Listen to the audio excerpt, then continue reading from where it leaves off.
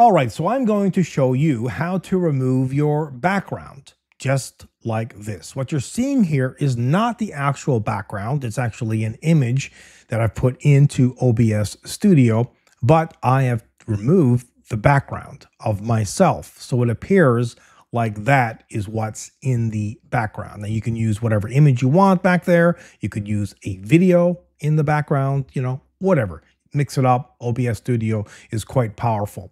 But this particular tool is not quite yet baked into OBS Studio. Maybe the next version of OBS you might have it. I don't know. But for now, you can head over to NVIDIA's website. I'll provide the link, or you can Google NVIDIA Broadcast Download Center and download one of these video effects the one that applies to you. Now, you will need to have an NVIDIA video card, either an RTX 2030 or 40 and I imagine there will be another download here once the 50 series video cards are released unless of course it's baked into a future version of OBS Studio. So I'm guessing that you already have OBS Studio installed. You probably already have a microphone and some kind of a camera.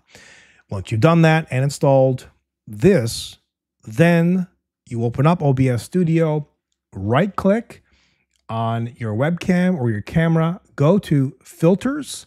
Once you go to filters, go ahead and add NVIDIA background removal. And then you can alter these settings. Now, if you have it on quality, it's going to put a higher demand upon your video card. So if you are streaming and gaming at the same time, you might want to use performance instead. It's not going to be quite as good, but it's still pretty accurate. And the threshold, well, it's the threshold kind of like around you and your chair. And you can also adjust the mask refresh frequency in frames if you want to. I find one is the best, but you can alter this as you like. So that's it. Very simple and really, really good, I have to say. Very impressive. And truly, this is the power of AI.